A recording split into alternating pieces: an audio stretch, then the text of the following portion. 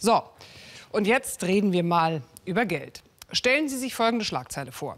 16 Milliarden Euro Steuergeld, futsch, mindestens. Das gäbe eine Empörung, oder? 16 Milliarden Euro. Um es mal bildlich zu machen, davon könnte man ungefähr eine Elbphilharmonie, den Berliner Flughafen und Stuttgart 21 bezahlen. Nur in diesen Fällen hat man wohl am Ende was davon. In der Elbphilharmonie spielt ja inzwischen sogar Musik. Aber die 16 Milliarden, von denen hier die Rede ist, wären einfach weg. Warum es keine Aufregung darüber gibt?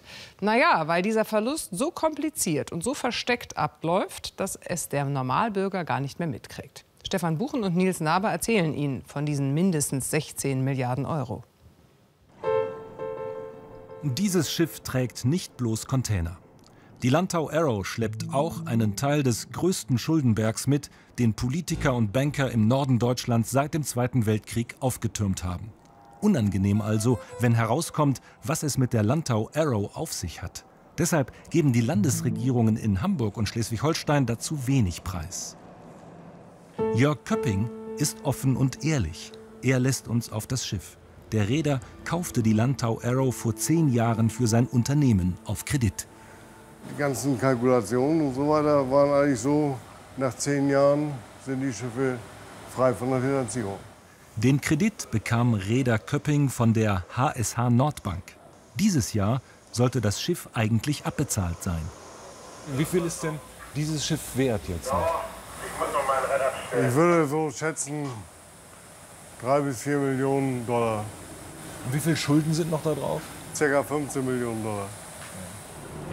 Eine ernüchternde Bilanz. 15 Millionen Dollar Schulden. Dafür stand eigentlich das Schiff als Sicherheit, falls der Kredit nicht mehr zurückgezahlt wird. Doch das Schiff ist nur noch drei bis vier Millionen Dollar wert. Das bedeutet einen Verlust von 11 bis 12 Millionen Dollar. Den muss die Landesbank tragen. Dass dieses Schiff mal tilgungsfrei sein sollte, das, das kann ich mir nicht vorstellen. Aber er wird also ein bisschen am Land Schleswig-Holstein und Hamburg hängen bleiben. Hängen bleiben, ja. Das ja. ist so. Politiker und Bankmanager wollen sich zu den Schulden der Landau Arrow nicht äußern. Dabei hatte einst die Landesbank von Hamburg und Schleswig-Holstein den nun faulen Kredit gewährt. Wie das Schiff heute intern bewertet wird, bleibt Bankgeheimnis. Professor Martin Hellwig hat sich intensiv mit der HSH befasst. Er bemängelt, die Bank wolle ihren wahren Zustand verschleiern. Zu welchen Werten stehen die Papiere, die Forderungen in den Büchern? An dem Punkt, wie werden Kredite bewertet? Da liegt die eigentliche Intransparenz. Wäre alles nicht so schlimm, wenn die HSH Nordbank nur das Geld für ein Schiff verlöre? Weltweit sind aber rund 850 von der HSH finanzierte Schiffe nicht abbezahlt. Und das hat einen Grund. Heute sind viel mehr Schiffe auf dem Weltmarkt, als gebraucht werden. Mit ihnen lässt sich nicht mehr genug verdienen. Deshalb haben sie dramatisch an Wert verloren. Wenn die Kapazitäten einmal da sind und es sind zu viele davon, kann man in dem Markt kein Geld verdienen. Und das hat die HSH nicht bedacht.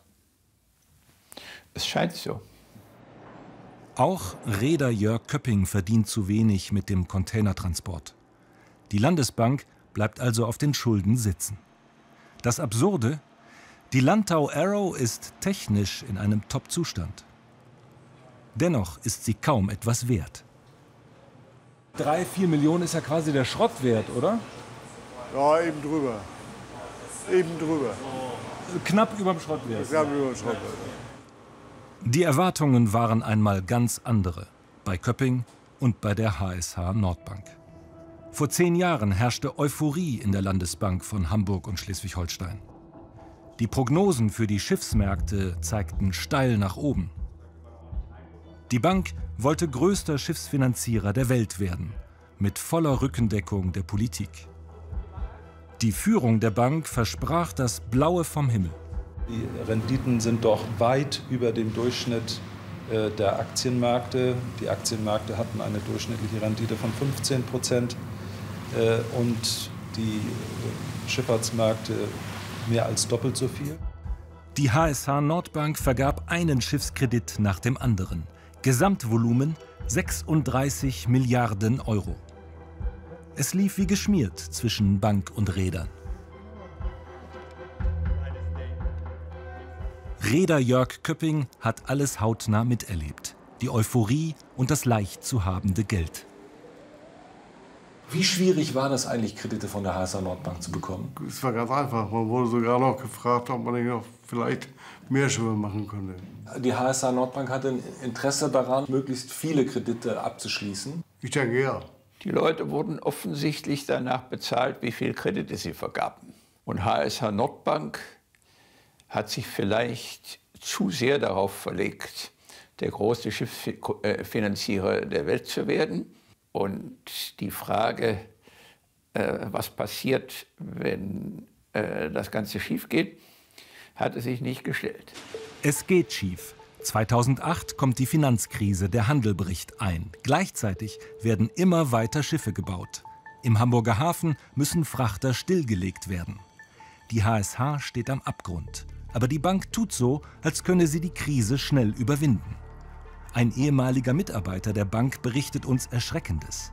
Zwar habe man intern mit Milliardenverlusten durch faule Schiffskredite gerechnet, aber nach außen habe man die Prognosen positiver dargestellt. In bankinternen Unterlagen von 2009 steht, der Öffentlichkeit müsse eine konsistente Story für den Schiffsmarkt verkauft werden. Politiker wie der damalige Hamburger Finanzsenator Freitag glauben das wohl nur zu gern. Im November 2008 behauptet er unverdrossen, die Schiffsfinanzierung gehöre weiterhin zu den Stärken dieser Bank. Freitag ist nicht mehr im Amt. Aber bis heute erntet er Verständnis. Die schlechten Schifffahrtskredite, die heute die Bank unter Wasser drücken, waren im Jahr 2008, 2009 nicht auf dem Radarschirm, weder der Aufsicht noch der Bank noch sonst irgendwelche Experten. In Wahrheit zeichnete sich die Dauerkrise längst ab. Es war klar, dass aufgrund der Orders, die bis Mitte 2008 an die Werften gegeben worden waren, also die Werften in Korea vor allem, bis 2012, 2013 immer neue große Schiffe auf den Markt kommen würden. Und das hätte man damals schon wissen können? Das hätte man damals wissen können, wenn man ich will es mal bös formulieren, in Deutschland nicht immer wieder stolz darauf wäre, nichts von Ökonomie zu verstehen. In Hamburg reden sich die Wirtschaftskapitäne erst mal ein, die Verluste seien vorübergehend. Es gehe bald schon wieder aufwärts. In dieses Horn bläst auch ein bekannter Räder der Stadt. Ich glaube nicht, dass wir relativ geschwächt aus dieser Krise hervorgehen werden, sondern relativ gestärkt. Man darf eben diesem Verlust gar nicht ins Auge schauen, äh, weil dann, wenn wieder Schiffe gebaut werden, wenn die maritime Wirtschaft insgesamt wieder auch sich nach vorne bewegt, dafür ist die HSH Nordbank unverzichtbar. So schrecklich wird's mit den Kosten schon nicht werden, beschwichtigt auch der erste Bürgermeister.